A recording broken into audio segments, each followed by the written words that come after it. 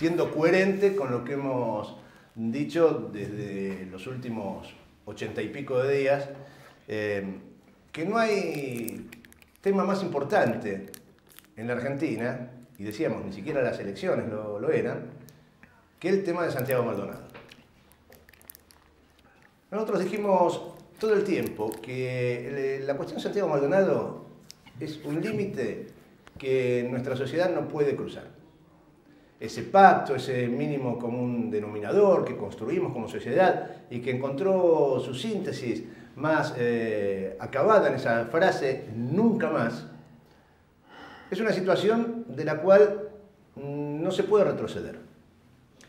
Y la incertidumbre en la cual vivimos durante 79 días se terminó de aclarar en parte, una pequeña parte, el día viernes, cuando se confirmó que el cuerpo hallado en el río Chubut el martes último, el martes de la semana última, era el de Santiago Maldonado. Quedan por develar montones de situaciones. ¿Cómo sucedió? ¿Por qué sucedió? ¿Quiénes son los responsables? ¿Si hubo ocultamiento? ¿Si no hubo ocultamiento? Apareció el cuerpo y era de Santiago Maldonado. Después nos volveremos a referir en el final del programa a este tema. Y quiero reiterarme en la contextualización de esto. La última vez que Santiago Maldonado fue visto con vida, participaba de un corte de ruta junto a otros siete, ocho habitantes de esa zona de nuestra patria, haciendo un corte de ruta que fue reprimido por cientos de efectivos de las fuerzas de seguridad del gobierno nacional, del Estado argentino. Allí se lo vio por última vez con vida a Santiago Maldonado. Luego se desató el operativo de represión y casi 80 días después encontramos a Santiago Maldonado, el cuerpo sin vida. Durante todo ese tiempo, Santiago Maldonado fue víctima de una desaparición forzada.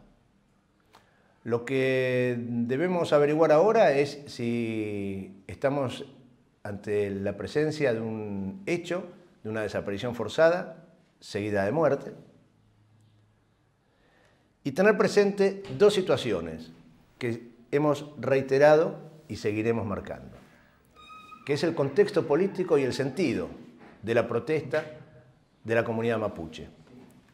La pelea por la tierra, el derecho al hábitat, que es una pelea que tiene muchísimo tiempo, y recordar la decisión que tomó el gobierno nacional, ni bien asumió en el año 2015, en la presidencia Macri, uno de sus primeros decretos, fue la derogación de la ley de extranjería de tierras, que ponía un límite a la posibilidad de tener tierras por parte de extranjeros en la Argentina. Eso fue una de las primeras medidas que tomó Macri ni bien asumió, junto con la derogación de la parte, parte de la ley de medios y junto con la baja de retenciones, al agro. Insisto, no hay tema más importante, ni siquiera las elecciones. Elecciones de las cuales vamos a hablar largo y tendido a partir de este momento. Pero por una cuestión de coherencia, de respeto a la historia de nuestro pueblo y a los objetivos de construir una sociedad efectiva y verdaderamente justa, tenemos que saber qué pasó con Santiago Maldonado, y una vez más en la historia decimos memoria, verdad y justicia, y castigo a los culpables.